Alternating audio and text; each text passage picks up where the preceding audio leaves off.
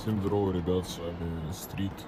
Короче, такая ситуация, что у нас проезжает наше направление БМО. Это кольцо такое большое. Есть старенькие электрички. Их очень часто много раз бомбят, и мы время от времени их снимаем, когда есть куски. Ну или когда мы просто успеваем.